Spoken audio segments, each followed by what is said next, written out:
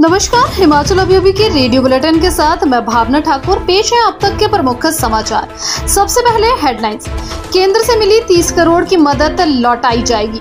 सुख सरकार अपने संसाधनों से बनाएगी नालागढ़ मेडिकल डिवाइस पार्क सुख सरकार पर कंगना का बड़ा हमला, संसद में बोली कांग्रेस सरकार के कारण त्रासदी से बाहर नहीं निकल पाया प्रदेश। मौसम और रास्ते की स्थिति देखकर करवाई जाएगी किन्नौर कैलाश यात्रा। पहले होगा सर्वे। एचआरटीसी में अब सौ सौ रुपए में बनेंगे स्मार्ट ग्रीन और सम्मान कार्ड। अधिसूचना जारी।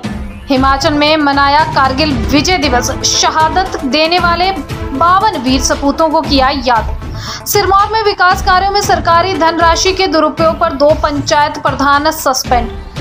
अब समाचार विस्तार से। हिमाचल प्रदेश के हितों को प्राथमिकता देते हुए राज्य सरकार ने जिला सोलन के नालागढ़ में मेडिकल डिवाइस पार्क अपने संसाधनों से बनाने का निर्णय किया है। राज्य सरकार ने दो सौ पैंसठ एकड़ भूमि पर 350 करोड़ रुपए की लागत से बनने वाली इस योजना के लिए केंद्र सरकार से मिले 30 करोड़ रुपए लौटाने का निर्णय लिया है। प्रदेश सरकार यदि इस राशि को वापस नहीं करती तो राज्य को कई आर्थिक नुकसान होंगे। मंडी लोकसभा सीट से सांसद कंगना रनौत ने लोकसभा में हिमाचल की कांग्रेस सरकार पर जमकर हमला बोला। बजट पर बोलने के लिए लोकसभा में खड़ी हुई कंगना ने सुक्खू सरकार को भ्रष्ट बताया। कंगना रनौत ने कहा कि पिछले साल हिमाचल प्रदेश में बड़ा प्राकृतिक संकट आया। बाढ़ से जान और माल का भारी नुकसान हुआ, मगर भ्रष्ट सरकार की वजह से हिमाचल त्रासदी से बाहर नहीं निकल पाया। जनजातीय ज़िले में 1 से 26 अगस्त तक होने वाली किन्नर कैलाश यात्रा से पहले सर्वे टीम रास्ते का निरीक्षण करेगी। पूर्णी, मार्ग का निरीक्षण करने के बाद मौसम और मार्ग की स्थिति को देखते हुए आगामी निर्णय लिया जाएगा। यात्रा को लेकर एसडीएम कल्पा, डॉक्टर शशांक गुप्ता की अध्यक्षता में हुई बैठक में चर्चा की गई। एसडीएम ने विभागों के अधिकारियों को निर्देश दिए कि यात्रा को सुरक्षित और सुगम बनाने के लिए तैयारियाँ समय रहते पूरी होनी चाहिए। शेष समाचार, ब्रेक के बाद। आपके स्वास्थ्य का प्रहरी, श्री बालाजी हॉस्पिटल, कांगड़ा, हिमाचल।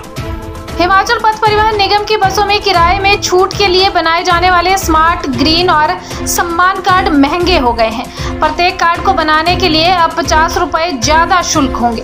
पहले कार्ड पचास पचास रुपए में बनाए जाते थे, लेकिन अब सौ सौ रुपए में बनाने होंगे। वहीं कार्ड की अवधि भी दो साल से घटाकर एक साल की गई है। बीओडी के फैसले के बाद अधिसूचना जारी कर दी गई।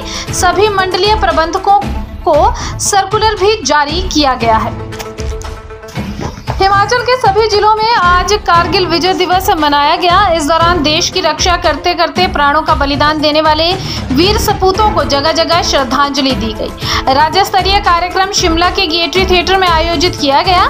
यहाँ पर स्वास्थ्य एवं सैनिक कल्याण विभाग मंत्री कर्नल धनीराम शांडिल ने शहीदों के परिजनों को सम्मानित किया।